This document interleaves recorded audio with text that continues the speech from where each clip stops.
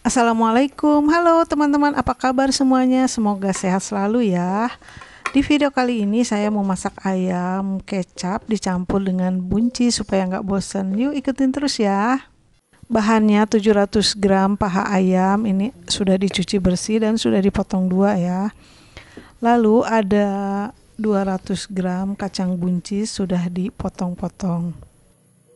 Bumbunya bawang merah, bawang putih, bawang bombay, cabai hijau, cabai merah, serai, dan jahe ya.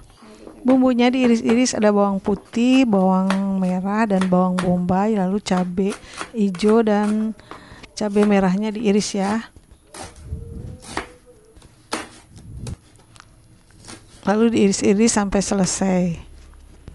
Nah, ini sudah selesai irisnya. Lanjut siapkan panci lalu didihkan dan rebus dulu sebentar ayamnya ya supaya kotorannya e, bersih ya kebuang.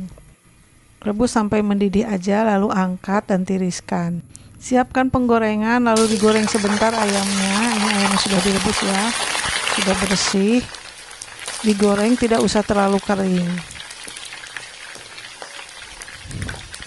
Sudah mau matang lalu dibalik ya jadi nggak usah kering-kering karena kalau kering itu suka agak keras. Dari uh, asal matang aja. Dan ini sudah cukup matang lalu diangkat dan tiriskan.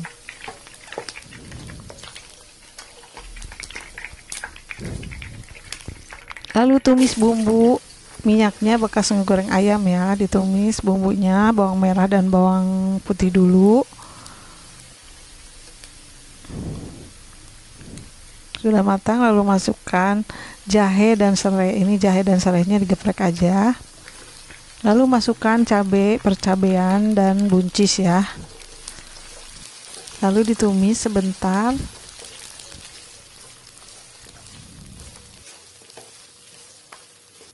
Tambahkan satu sendok kecap manis. Lalu tambahkan sedikit air supaya agak matang ya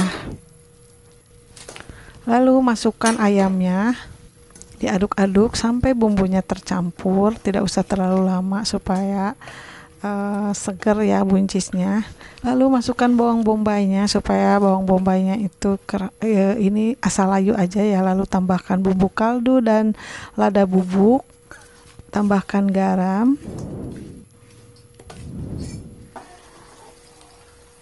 Dimasak sebentar supaya bumbunya menyerap ya. Ini udah wangi banget sudah enak ya.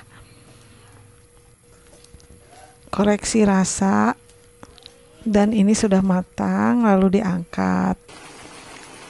Nah teman-teman ini mudah banget dimasaknya. Lalu angkat dan tuangkan di piring saji. Ini enak banget rasanya teman-teman.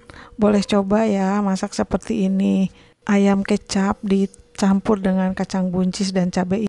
Rasanya e, enak banget apalagi pakai nasi yang hangat-hangat Oke teman-teman terima kasih banyak yang sudah menonton video saya. Semoga bermanfaat ya. Sampai jumpa di video berikutnya. Wassalamualaikum